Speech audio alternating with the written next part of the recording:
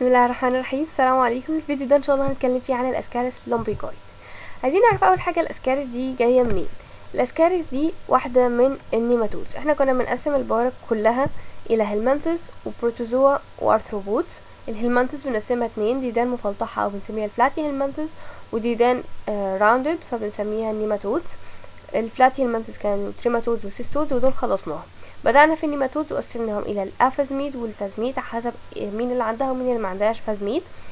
فكانت ال Ascaris lumbricoides واحدة من ال phasmid nematodes حلو. عايزين نبدأ بقى فيها. ال geographic distribution بتاعها موجودة فين؟ موجودة في كل العالم. يعني مش ما فيها لهاش حتة معينة قاعدة فيها وحتت لأ. بتحب قوي الحتت اللي بتبقى warm آه تقعد فيها. بس هي بصفة عامة موجودة إيه؟ في كل العالم. ال habitat بتاعها small intestine بتاعت ال man. ودي صورة ل small intestine فشالوها بالجراحة وجواها كمية اسكارس رهيبة بصراحة. طيب عندنا ال morphology بتاعها عامل إزاي؟ أول حاجة ال size بتاعها. ال size بتاعها بيبقى large ال male من 15 إلى 30 سنتيمتر وال female من 20 إلى 40 سنتيمتر. دايما ال females بيكونوا أكبر في الحجم من ال males. وال size بتاعها بنأكد إن هو بالسنتيمتر هي واحدة من أكبر ال nematodes اللي بت affect ال humans ال color بتاعها بيبقى ivory white يعني لون عاجي يعني يعني أبيض مطفي كده زي ال off white مش مش الأبيض الناصع يعني. ال mouth بتاعها بيبقى ليها 3 lips وليها esophagus وال esophagus شكله cylindrical. ال posterior end وهي دي اللي بنفرق فيها بالع... في العملي ال male عن ال female. ال male بيبقى coiled وليه two minute spicules بس من غير copulatory bursa ال copulatory bursa دي هتشوف شكلها في العملي شبه يعني بتديها شكل في الآخر زي زي ديل السمكة زي الزعنفة حاجة كده زي زي sheet كده وقاعدة فيها ال spicules المهم إن هي هنا مش موجودة خلاص. في males بتاعت worms تانية هنلاقيها موجودة. ال posterior end بتاعت ال female زي ما إحنا متعودين is straight. طيب نشوف شكلها كده. أدي دي كده ال female ال posterior end بتاعتها ما فيهاش أي مشاكل straight. أما ده ال male فال posterior end بتاعته بتبقى coiled وزي ما إحنا شايفين ما فيش copulatory bursa طيب خلصنا كده إيه ال morphology نشوف ال life cycle. ال life cycle في أي حاجة في البارا انت محتاج تتكلم في يعني في امتحان essay على أربع نقط أساسية. ال infective stage بتاعتها إيه الحاجة اللي بتعمل infection آه لل human وإيه هي ال diagnostic stage يعني إيه هي ال stage من حياة ال worm دي اللي أنا هلاقيها في في أي excreta من من ال excretions بتاعت ال human وبالتالي أنا بشخص بيها. إيه هو ال mode of infection الرابط بقى ما بين إيه اللي كان موجود في ال environment أو في أي حاجة وعمل لي آه دخل لي ال infective stage دي جوه ال human وإيه هي ال journey فالثلاث نقط الأولانيين بيبقوا سهلين غالبا كلمتين ثلاثة يعني نقدر نضمن بيهم أغلب الدرجات لو ال journey فيها مشاكل أو صعبة شوية. فإيه هي ال infective stage هي ال fully mature eggs من كلمة fully mature يعني في حاجات تانية يعني أو إن ال eggs دي بتبدأ immature وده فعلا بيحصل وهنقولها لما هنقول ال journey ال diagnostic stage هي ال eggs هي ال eggs هي اللي بتبقى passed في ال stool وهي دي اللي بنشخص بيها. في عندي نوعين من ال eggs في fertilized egg وفي unfertilized egg. ال mode of infection بيكون عن طريق ال ingestion of the fully mature eggs اللي الإنسان بياخدها من ال food من ال water أو من ال contaminated hand. Due to poor sanitary.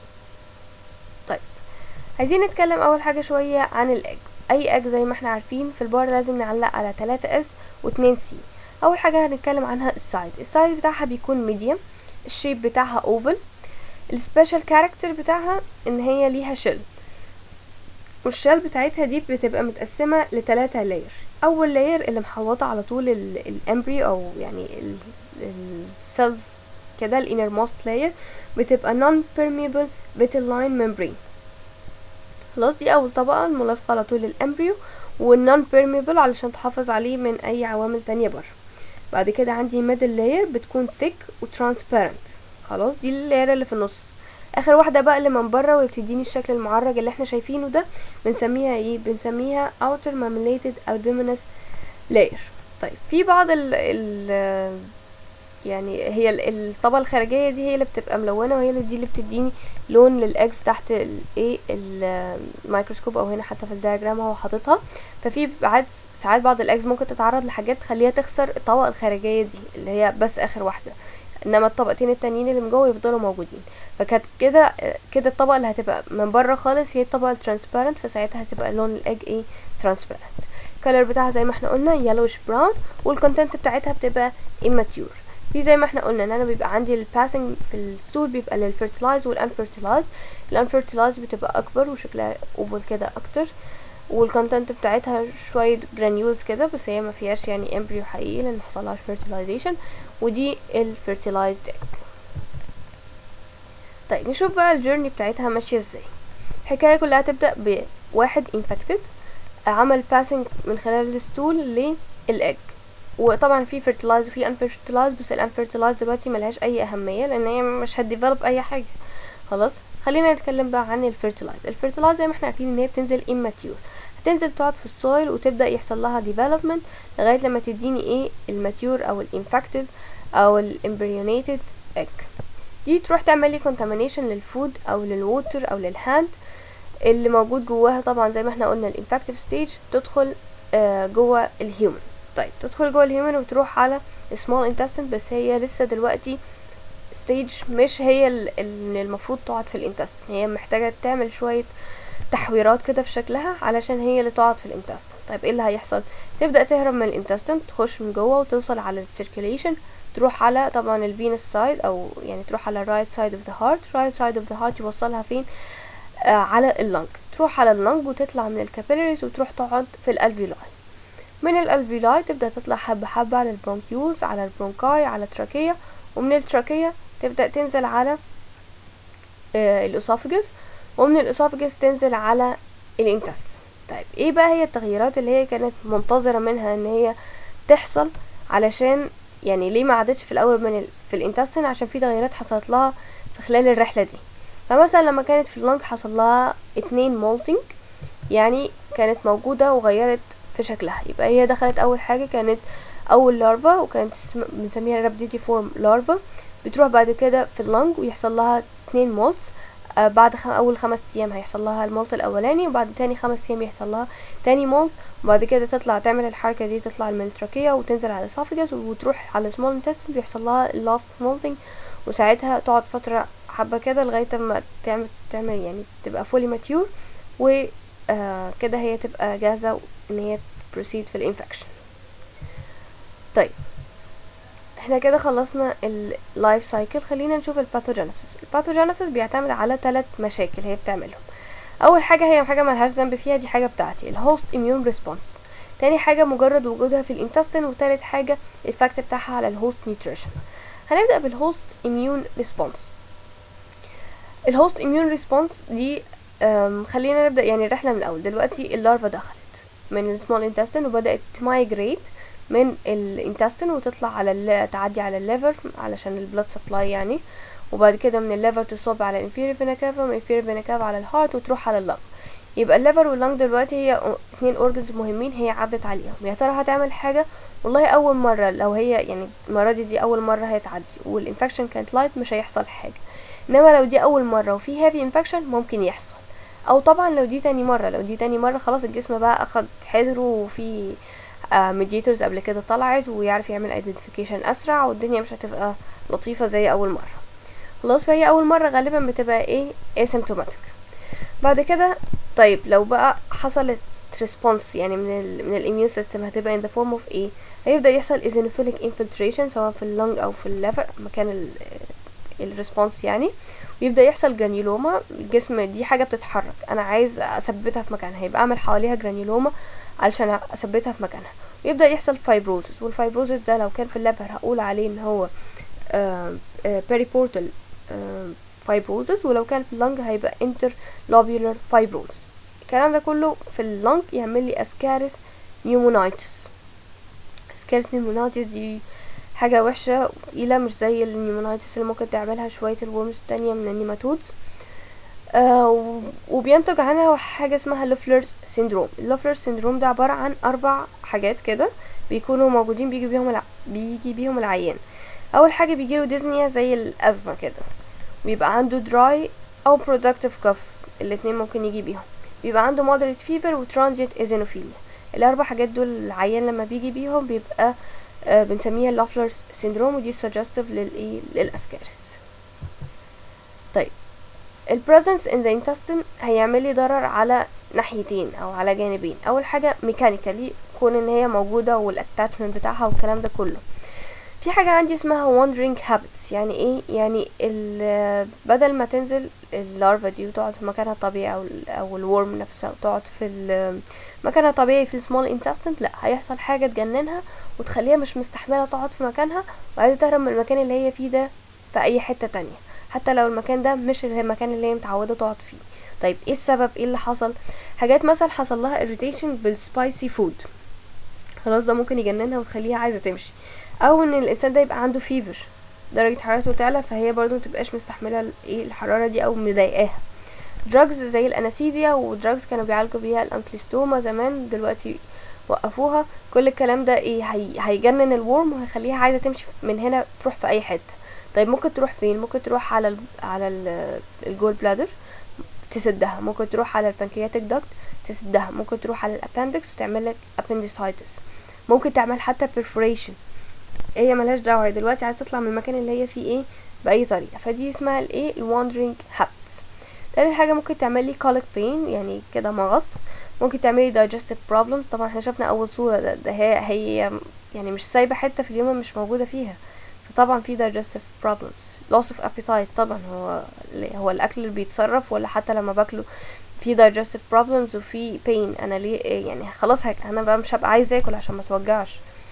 ويبقى عنده diarrhea of bulky full stool. طيب إن الجانب التاني due to الويست products اللي هي بتطلعها ودي بتinduse زي إيه؟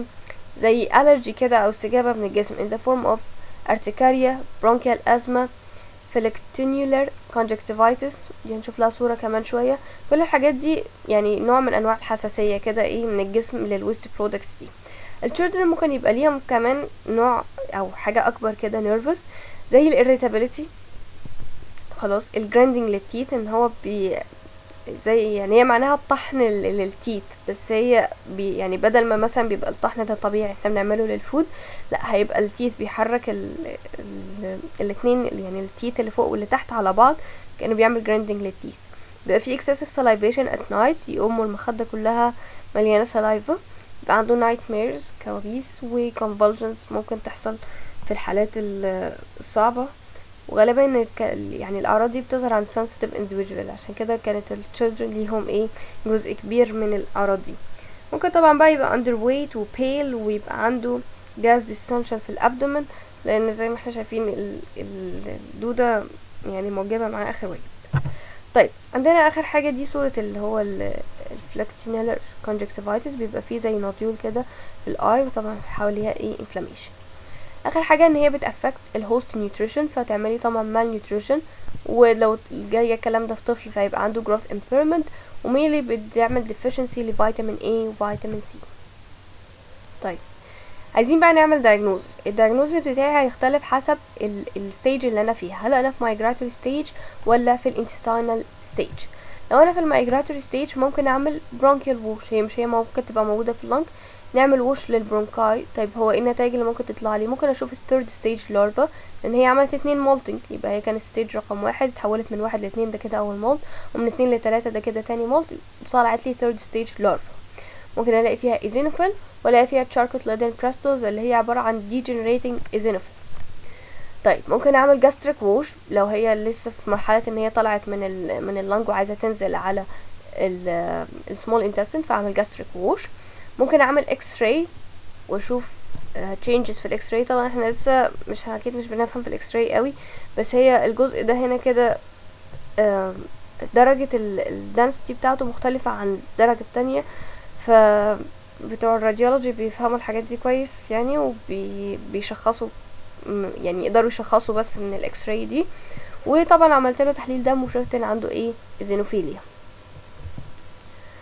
آه طيب الحاجة التانية كانت ال intestinal stage آه ودي هنا لو عملت له stool analysis ممكن ألاقي برضو ال worms أو ال eggs sorry وال eggs دي ممكن أعمل لها concentrating mechanism لو أنا شايفة إن عددها قليل أو بتاع scanty طيب يعني حاجة ممكن أعملها برضو ممكن أعمل radiology بس المرة دي هقول له ياخد barium meal يعني هيشرب صبغة.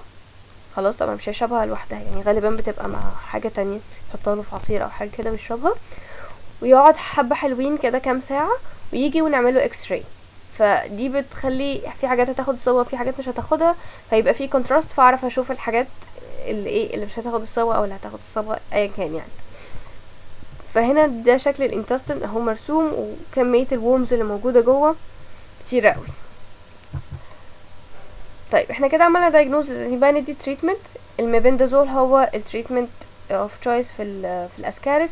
ال prevention بنعمل إيه؟ بنعمل لهم mass treatment كله لازم يتعالج. دي second most common يعني أكيد بتتنقل بصورة أسرع. بتتنقل بسرعة جدا وهي second most common لأن هي ال eggs بتاعتها بتبقى resistant قوي. يعني يعني جفاف ما عندهاش مشاكل. chemicals كتيرة هي بتبقى resistant ليها. يعني بت متعايشة مع حاجات كتيرة بقية ال eggs ما بتصمدش فيها. فعشان كده ده بيخليها يعني بيديها virulence factor إن هي تفضل قاعدة ومستحملة وتفضل تعمل infection لمدة طويلة. طبعا لازم نعمل hygiene education لأن جزء كبير منها بينتقل علشان ال poor hygiene ونعمل prevention لل environmental contamination بال human feces نختم الفيديو بتاعنا بسؤال عايزين نعرف إيه ال statement من دول اللي هتكون غلط regarding ال Ascaris lumbricoides أول حاجة بتقول لك ال male Ascaris has a coiled posterior end and copulatory bursa ال statement دي غلط لأن إحنا قلنا إن هو عنده coiled آه بس من غير copulatory bursa ال Ascaris undergo last molt in the small intestine. ده صح. إحنا قلنا بتعمل اتنين في ال lung وبتعمل آخر واحد في ال intestine ال Loeffler syndrome occurred due to immunological mechanism. ده كان صح. آه إنها تبع ال immune immunological response أما ال mechanical وال waste دول ما كانش ليهم علاقة بال Loeffler سيندروم آخر حاجة الاجز had 3 layered shell وده, وده صح هي كان ليها shell وليها إيه؟ تلاتة layer innermost non permeable vitelline وبعد كده اللي في النص اللي هي transparent وآخر واحدة اللي من بره اللي هي albuminous laminated shell. تمام؟ إحنا كده خلصنا الفيديو. أتمنى تكونوا استفدتوا من الفيديو ده وشكرا.